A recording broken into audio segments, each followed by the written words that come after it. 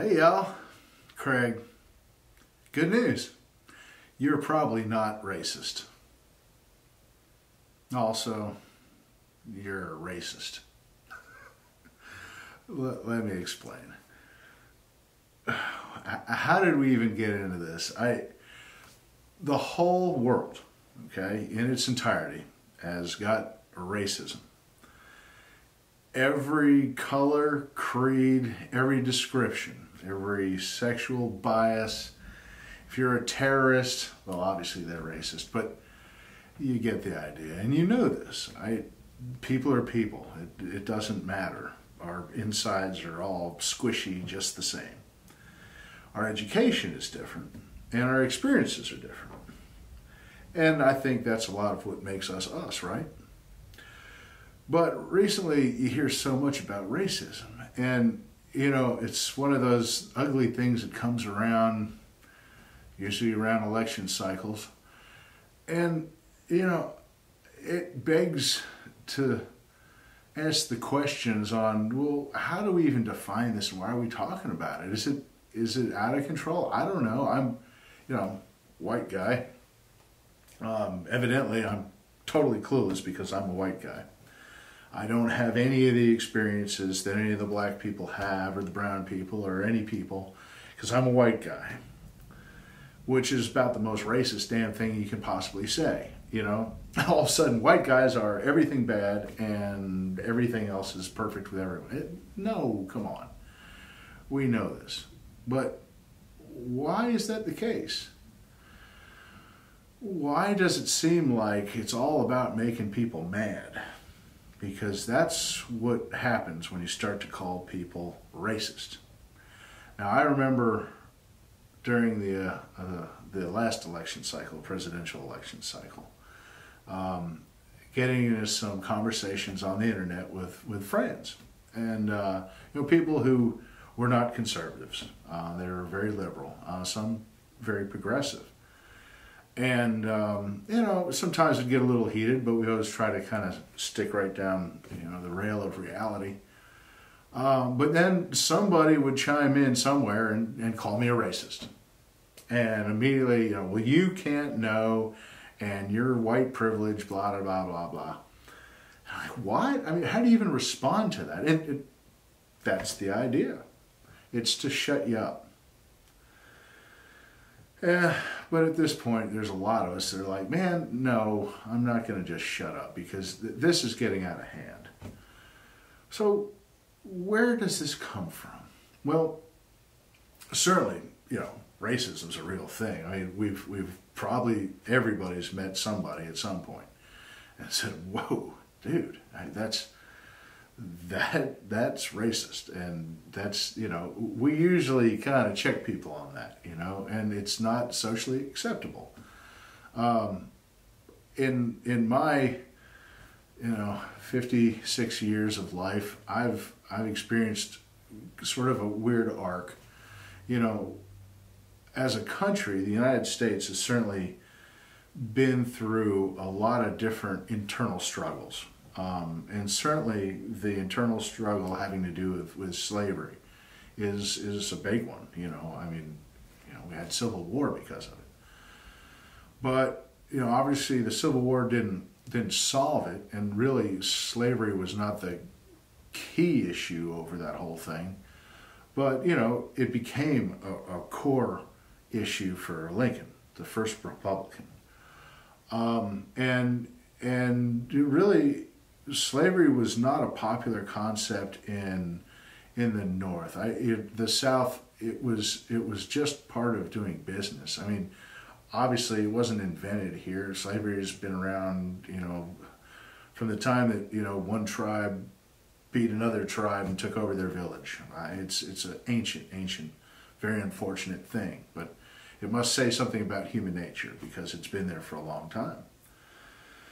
But you know, commerce was huge in the South. It was, it was more so in the South than, than the North back in the times of, of our founding. And, you know, and slavery was just part of it. I mean, you know, certainly rice and cotton and stuff like that, very labor intensive. They didn't have machines, and this is just kind of the way it was done. It's unfortunate, but I mean, that's part of our history. part of the world's history, though. I mean, we, like I said, we didn't invent it. Slaves were all over the place.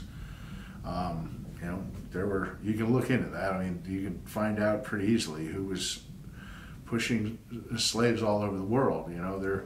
It may surprise you actually, uh, but I don't even want to get into that. Just we're talking about racism, and, and it seems to stem from that. But racism doesn't mean black white. It, you know, it's, it's just race against race. I mean, you can be racist against whomever.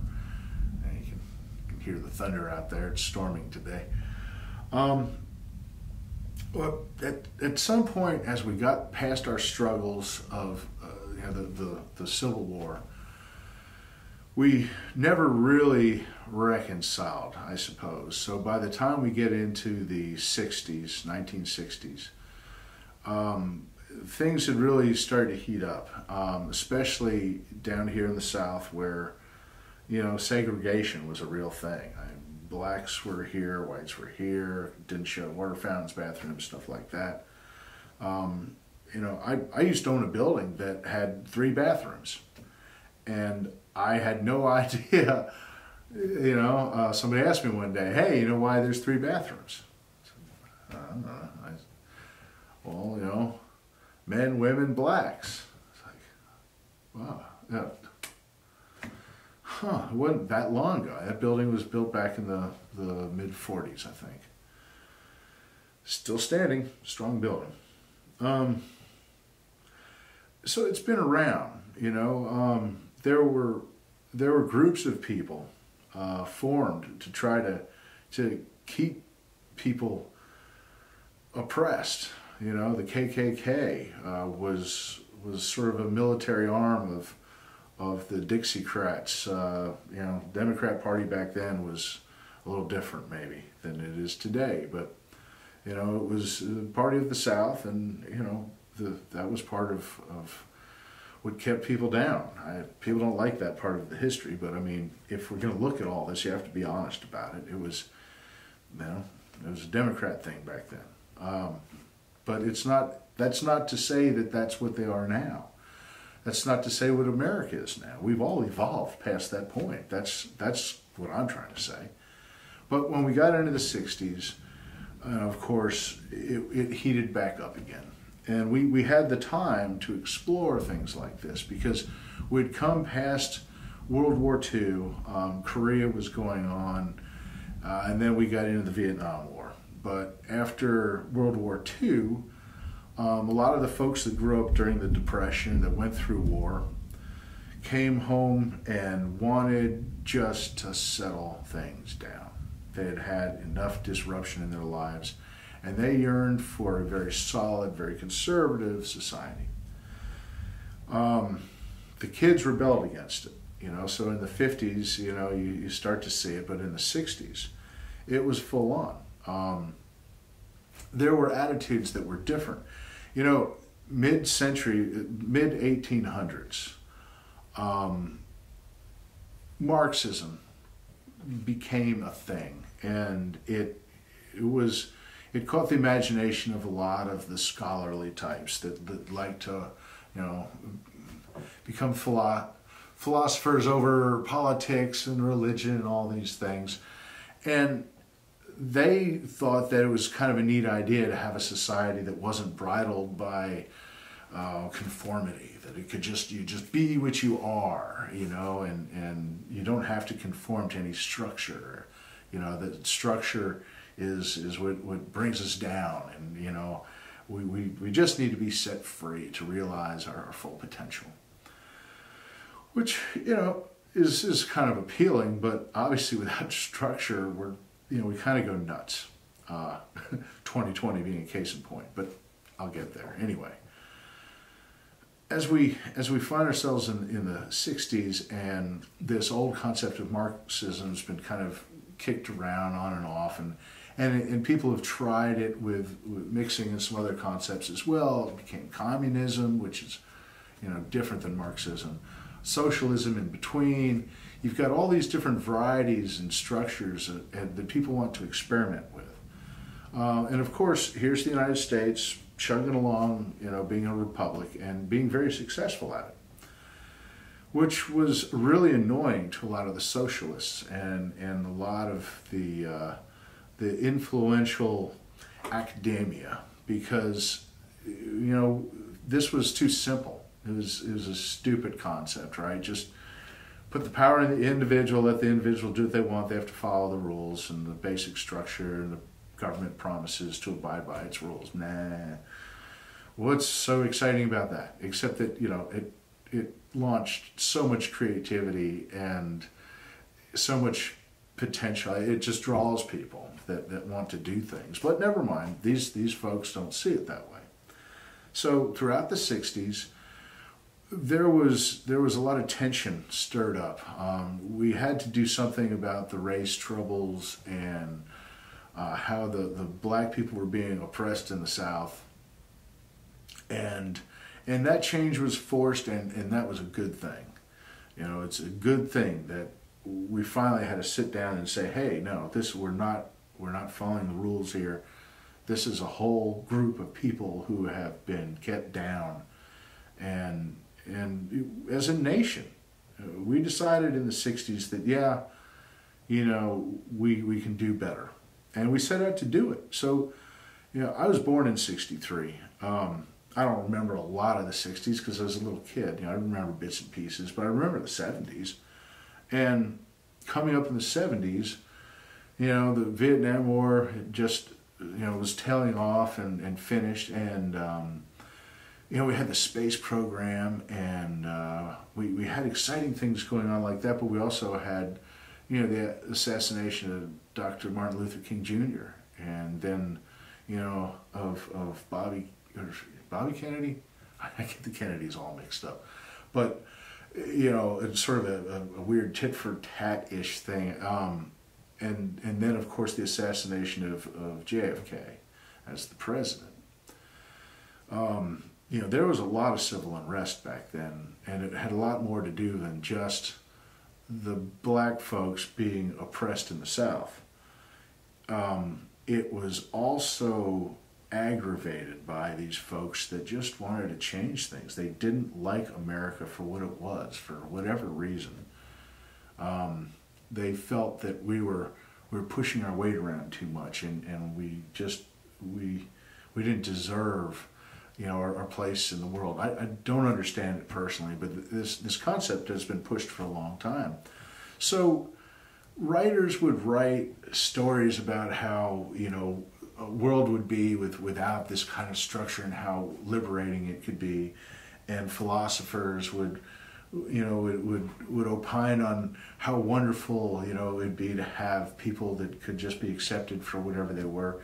And these were all high ideals wonderful, but um, it, you can't achieve these things uh, to a certain level, but I mean, you're always dealing with people. There's always going to be disappointment. There's always going to be something, and there's always going to be some element of racism or bigotry. Uh, there's just people are people. You know, we, we're all very complicated. You know, we act one way on the outside, and we feel a little bit differently on the inside. You know, that's social norms being, you know, what's expected. But we, we got through the, the 60s and the, the civil unrest. Um, but in the process, we, we sort of started a couple fires that never really died out. This, this Marxism thing really never went away. Um, but there was also another element to it, anarchy. Um, you know, just no, no structure. Just, just go crazy. Um, you know, again, because America is inherently evil, um, because we've been so successful, and I, I, don't, again, quite understand it, but that everything must be destroyed. None of these things make sense to most of us. It's not very appealing. But for some, for whatever reason, it's, it's, it's the most logical thing. And so it, it continues to be pursued. And we, we, we find ourselves in this weird situation now we have a very, very charged election coming up. Um, it really couldn't be more sort of like one side or the other. It you know it so it was always sort of like a selection of like you know you hold your nose and you you pick. Um, but this is different, and leading up to it's been so different. It seems to be this whole emphasis to just try to find things that aggravate people. You know, um, since the beginning, you know, at first it was very much like, well, if you voted for Trump, you were deplorable. You remember that. And that's kind of when the gloves came off. Um, all of a sudden, you know, it's always been like, well, we've got a trouble with that politician. Not necessarily the people that vote for him, although, you know, we, we consider them to be less smart. But uh, this is the first time I remember that if you voted for somebody, you were categorized as just regardless of what you actually were, if you had been friends with these people in the past, it didn't matter. All of a sudden, wham, if you were v- willing to vote for Trump, you are persona non grata, and um, I'm unfriending you on Facebook, and you know, and you're and you're horrible. Oh, and you're a racist, because that always comes up, which is nuts. I mean, not, again, people just aren't really that way. I, are, are some, yeah, maybe they talk that way, but hey, people just deal with people. You always see it, you know. But I'm getting ahead of myself again. What I'm trying to get down to is that as we got towards this election, you're seeing all of these different elements start to stack up. All kinds of things to cause friction, to, to force that choice. Are you this or are you that? And, you know, I've spoken about it before. We're, we're gray. We're, we're not this or that. In most cases, we're a little this, a little that. We might project an image, but you know, really on the inside, we're pretty malleable because, you know, we, most of us understand that, hey, you know, I might learn something new here. I'm not always right. Um, I certainly, I think a lot of us have core beliefs. I certainly do. Um, but if, if somebody shows me I'm wrong with something, then I was wrong with something. I mean, that's, there's no shame in that, right? But when you start to question my core beliefs, then you've got to give me a really compelling argument. You know, well, why why am I racist if I'm a conservative? Say, well, you you're you're white. Okay, I was born white. Um, what else you got? As well, privilege. All right. Well, I've been pretty fortunate, um, but I know a lot of fortunate people of every variety. Um, and some have made it, some haven't. I, you know, that doesn't seem to have a lot to do with it. Doesn't matter. There's, they're not looking to give you a convincing argument when you get to that level. It's all to shut you up, shut you down, stop arguing with them. They are right, you are wrong, even if they don't have an argument for you. Because right is anarchy, no structure. You're wrong, I'm right. That that settled. Science is settled. And we've gotten there um, with almost everything now. So I think about, you know, the, the whole George Floyd incident, which I think universally everybody was horrified. Ah, that cop just killed that guy. Now, you don't have to be black to get hassled by cops. Uh, I can tell you um, and of any race and any age. I mean, things like that can happen. Um, you know, is it the cops? I don't think so. I mean, most cops are pretty decent. You know, um, what a tough job that is. Is it the people interacting with the cops? You know, did they they not learn that when the cop says stop, you know, you, you have to. That's why they have guns. They, they, they enforce laws, and that's the structure that, that we live under, and we've all agreed we live under these laws. So if you don't obey a cop, things start to get out of control, and cops are trained to not let things get out of control. Um, but not all cops have perfect control. We know that. Everybody knows that. But the thing that happened with George Floyd was just was horrible, and you know, now we know more about George Floyd and all that. And, you know, was he asking for that? No. Was he asking for trouble from the cops? Yeah, you bet. He had broken several laws and he was not complying. But, you know, really, once you have a guy down, you got him in handcuffs, you got him. You know, of call in the backups, but there were four of them there. I, I don't know. But the thing is, we, we're all horrified. But all of a sudden, this thing, it, remember, it, it was like, well, police brutality. And in these cities, cities, we have this problem with police brutality. And oh boy, we're going to have a protest. Well, okay. And you know, we're all asking ourselves, well, don't you know that you elect all those people? You guys can change it yourselves by electing people that you know do better for you. But that never seemed to come up. But in like boom, just like that, all of a sudden it's racism. What? Oh yeah, well it's a white cop and this black guy, so it's racist. It's like, well, there's nothing. There's nothing to even suggest that in that. I mean, he, the, the white cop worked in a predominantly black part of town he was actually the minority there. And, you know, and actually, if you look at the other cops there, I mean, you had kind of a, a it, it wasn't a racist thing. But all of a sudden, racism again. And we're all, you know, we're all getting upset. And then people are protesting in the street, okay. And just like that, there's these lunatics just leapfrogging right over them practically, smashing windows and, and looting and causing all this stuff. And you're like, whoa, what happened? How did we get to that? Well, it's because, you know, all these cities are racist. But they're predominantly black. They're run by, you know, black mayor, black sheriff, all this. Is like, how can that be racist? I don't know. No, that's, that's what it is, and it's your fault. And you white people should just sit in your houses and, and, and apologize. And I, that's how I felt. And did you notice that you know the, the people who were like smashing the glass and starting the the trouble, the fires? They're all like these spindly white people.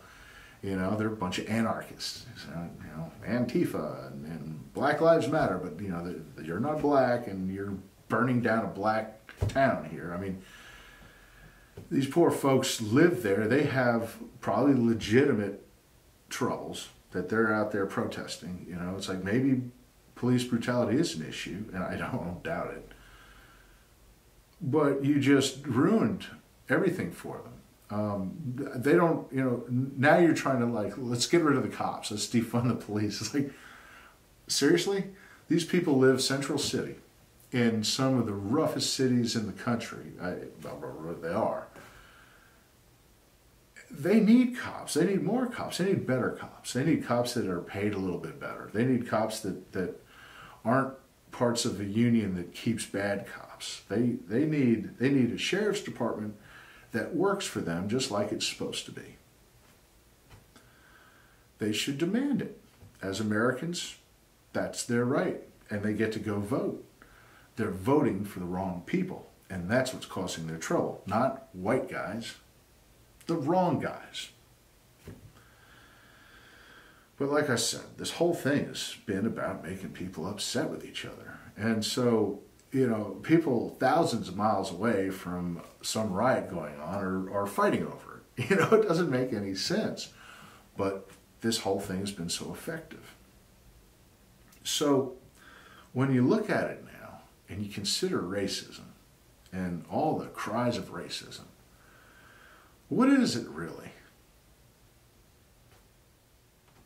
I mean, is anyone trying to fix racism? I don't I don't see anyone with big ideas other than you're racist and shut up. I mean, that's that's kind of all I hear.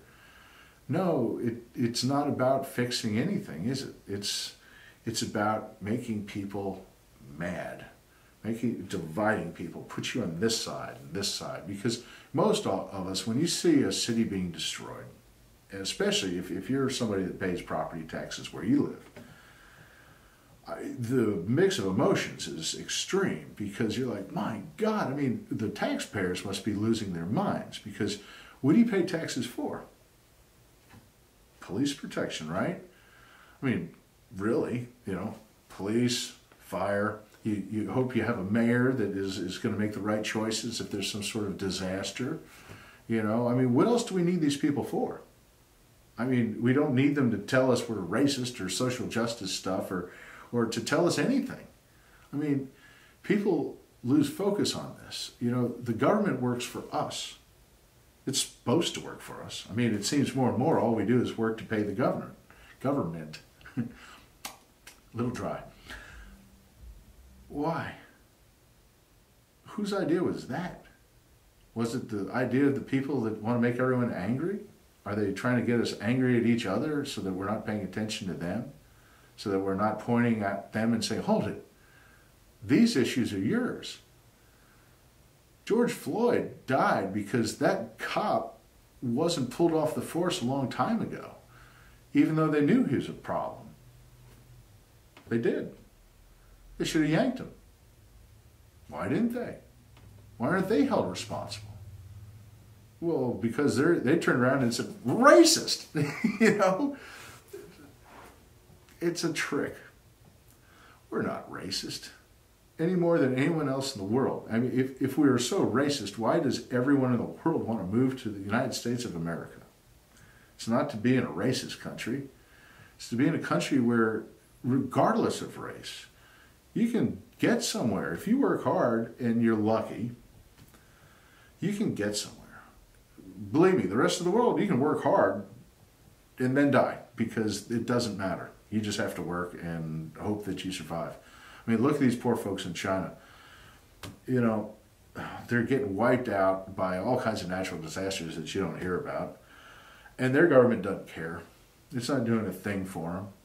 Everyone's, I, for 21 days, no one saw any of the leadership whatsoever. They, they haven't even shown up in any of these huge flood areas or where they're having the horrible droughts or any of this.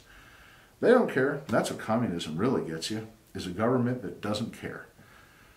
And when you look at some of these big cities where all these big problems are, where all those those chants of racist are coming from, look who's running them. They're folks that act like a bunch of communists. I can do whatever I want. I'll blame you or blame you. Not me, but it is them. They're the ones that are supposed to be running the show. And the show they're running stinks. So, I don't know. Do you still feel like you're a racist? Because you probably didn't in the first place. But I think you already know why they're calling you one. They got nothing else to do. they got nothing, right? They got they don't have any great new idea, no no concept of where to take us.